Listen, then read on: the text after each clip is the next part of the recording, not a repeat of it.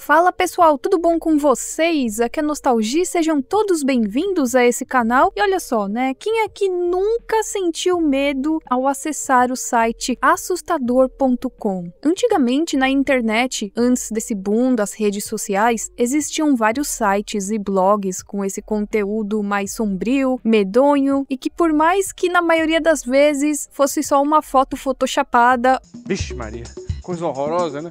ou um vídeo editado, sim, nós ficávamos com muito medo. Então hoje eu resolvi fazer um videozinho aqui rápido para vocês. Estou meio sem tempo, mas não queria deixar vocês sem vídeo, falando a respeito de alguns sites que já nos traumatizaram aí na nossa infância e adolescência. Como no vídeo passado eu tava me lembrando dos meus medos de infância, eu comecei também a me lembrar de alguns sites. E aí me veio essa ideia aqui de fazer esse vídeo. Caso vocês gostem, farei mais conteúdos parecidos, beleza? Então, bora para o vídeo.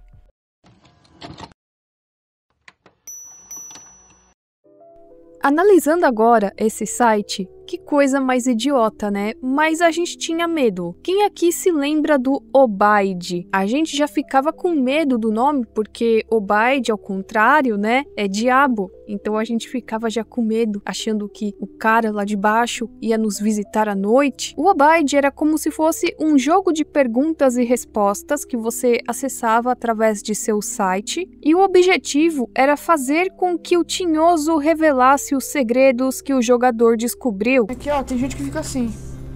Oi, qual o seu nome? E aperta responder.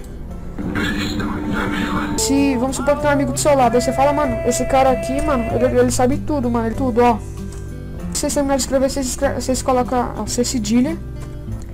Aí vocês vão escrever a resposta, entendeu? Dependendo do nome do seu amigo. O amigo Gabriel tá aqui do meu lado, então eu vou colocar. O seu amigo Gabriel. Não aparece o que você escreve, né? Senão fica na cara. O cara vai ver "Oxe, você escreveu o meu nome aí por quê? Responder. É seu amigo Gabriel. Atualmente o site está fora do ar, mas ainda assim você encontra esse joguinho na internet, que era todo em Flash. Eles deixavam bem claro que se tratava de uma brincadeira e que não tinha nada demais. Porém, mesmo assim, a gente ficava com medo. Mas e vocês, se lembram de alguma vez ter acessado o Obaide? Comentem aqui a experiência de vocês. Outro clássico dessa época era o Medo B. O Medo B, na verdade, ele era um blog. E era um blog todo destinado a coisas de terror, mundo sobrenatural e etc.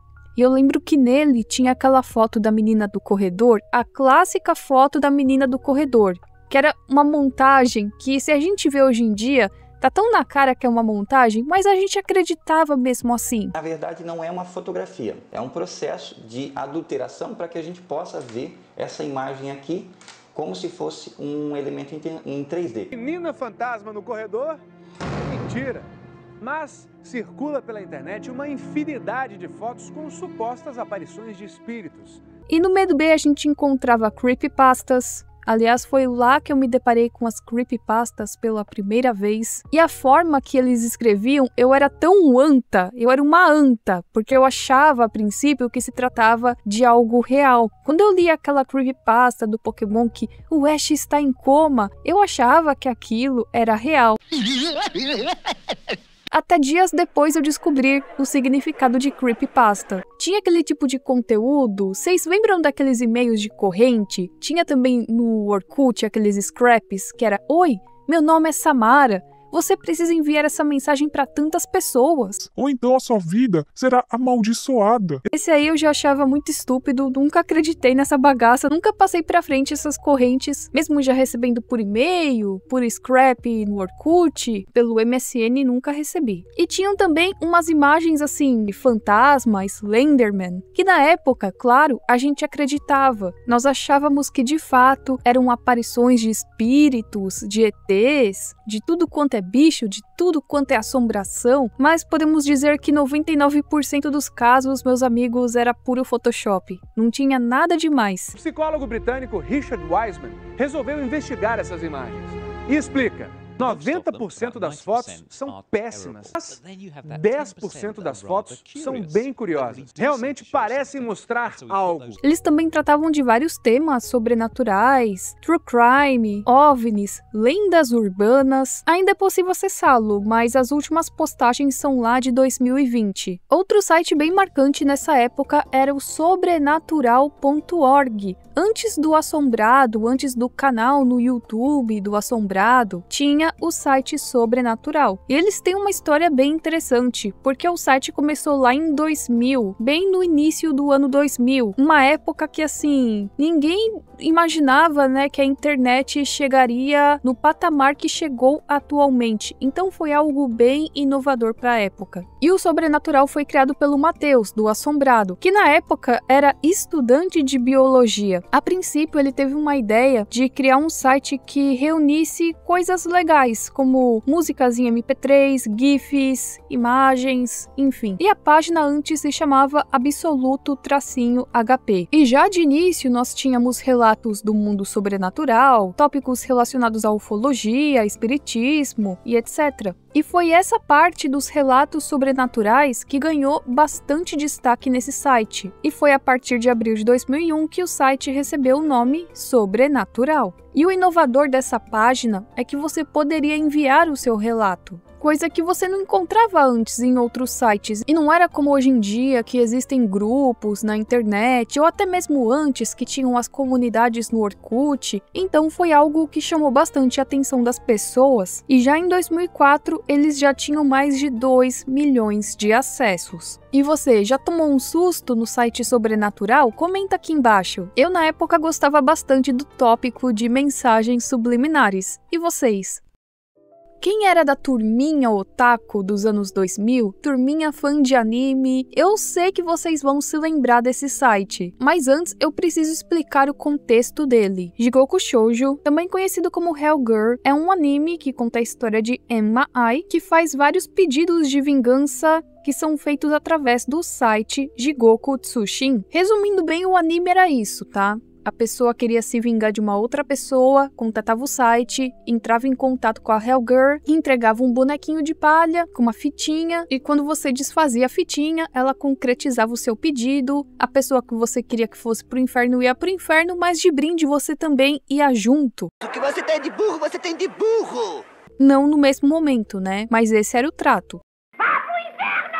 No Brasil, o anime foi exibido no Animax lá por volta de 2008, época maravilhosa de Animax nos anos 2000, e aí a Emma Ai que decidia se ela iria realizar o seu pedido ou não. E o site de fato existia e se chamava Jigoku Tsushin. E o layout dele era exatamente igual ao que era mostrado no anime, só para deixar a coisa mais dark, né? E eu lembro que juntava várias pessoas em comunidades do Orkut, comentavam a respeito e comentavam que iriam acessar o site. E no site, quando você inseria o nome, aparecia a Imai e ela oferecia a boneca de palha com um barbantinho vermelho. Isso no site, né? Quando você clicava na boneca de palha, tinha uns efeitinhos sonoros, só que aparece uma mensagem de erro. Eu não sei se isso acontecia antes, porque eu era tão medrosa dessas coisas que eu não tinha coragem nem de entrar nesse site, né? Então eu não sei se sempre ocorria esse erro que aparecia o número 404 ou se antes acontecia algo diferente, não sei, né? Funcionar é que não ia funcionar. E eu lembro que tinha um esquema que falavam que o site só funcionava à meia-noite. E aí às vezes ficava a dúvida: devo entrar no site ao meio-dia, porque se é dia no Brasil é noite no Japão, ou devo entrar no site à meia-noite mesmo. Aliás, você já tentou entrar nesse site? Você sabia da existência dele?